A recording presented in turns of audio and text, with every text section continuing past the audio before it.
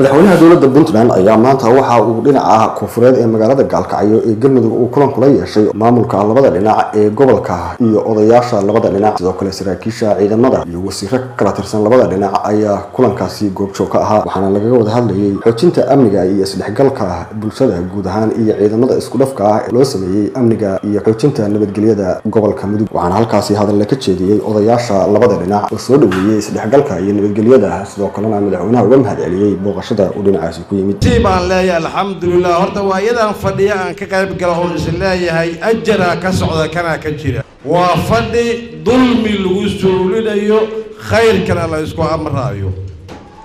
Madaxweynihii galmudugna ma maqna waxaa ka wakiila madaxweynaha puntland. Waad ogtihiin ree gaalkacyow waxaan arki jiro oo dhegaysan jiray madaxweynayaal isnaqdinaya haddaad maqli weyseen xataa madaxweynayaal isnaqdinayo madaxweynayaashiina israbaan xaggee dagaal ka keenaysaan maxaa u dagaalamaysaan yaa yaqaan? Lama garan karo. Waxaan ku leenaha madaxweyne soo dhawow. Ku soo dhawow. Madaxtooyadii galmudug. Odayaasha dhaqanku wax badan bay soo wadeen. Beesha caalamku qayb bay ka qaadatay taliyayaashu ciidanku qayb bay ka qaateen guddoomiyaasha degmada iyo guddoomiyaasha gobolku qayb bay ka qaateen waxaan rabaa inaan uga mahad celiyo qaybtay nabadda ka qaateen waxay la tahay xafladdaanu waa xaflad qiimo badan ku leh ummadda soomaaliyeed iyo gaar ahaan gobolkan mudug iyo dadka xafladdan fadhiya labadaba mudane madaxweyne gaalkacyo oo midaysan ciidan isku mid ah odayaal isku mid ah dowlad labada dhinacoo isku mid ah dad isku mid ah ku soo dhawow mudane madaxweyne waxaan rajaynayaa arrintaanu annagoo odayaal ahaan ka dhaqan ahaan inaan qayb weyn ka qaadannay gudoomiyaasha gobolka ee galmudug iyo puntland ayaa iyaguna waxa ay ka hadleen halkaasi. Nabad iyo colaad wixii alla kuu keenana waa wax alla qadaray.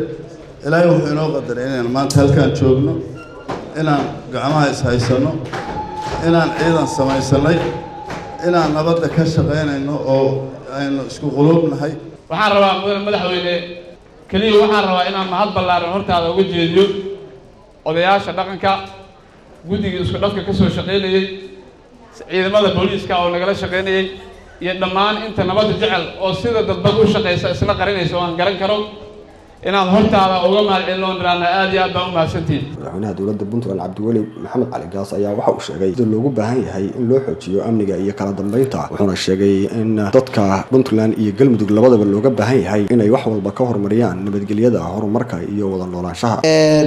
Aada iyo aad ayaan uga mahadnaqaynaa soo dhoweynta wanaagsan ee qiirada leh ee walaaltinimada leh iyo shucuurtan iyo dareenkan wanaagsan oo aada maanta nagu soo dhoweyseen naguna hadasheen aada iyo aad baan runta uga mahadnaqaynaa.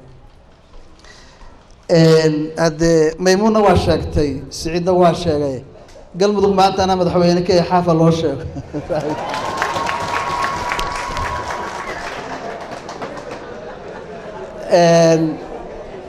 waxaan runtii rabaa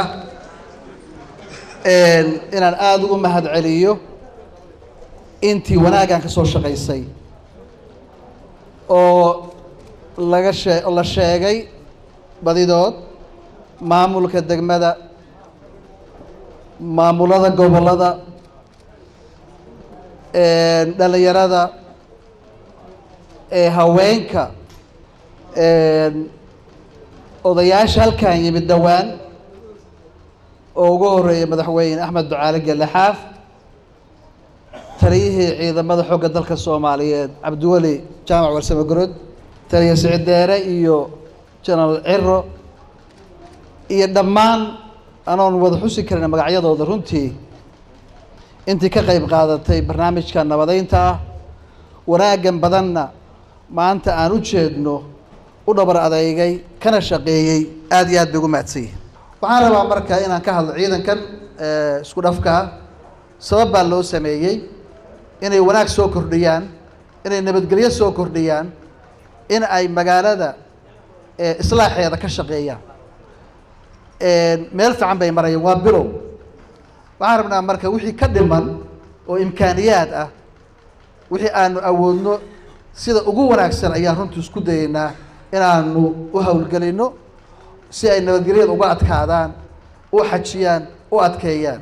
Sidoo kale ciidanka isku dhafka militariga insha allahu way degi doonaan iyana. Marka gaalkacaya runtii sida ay u socoto hadday u socoto wanaag bay ku sii siqaysaa nabadgelyay ku sii siqaysaa waana cid kastoo ka shaqaynaysana waxba ka akran mayne waan la dadaalaynaa waana ku taageerana insha allah haddii ilaha yihahdo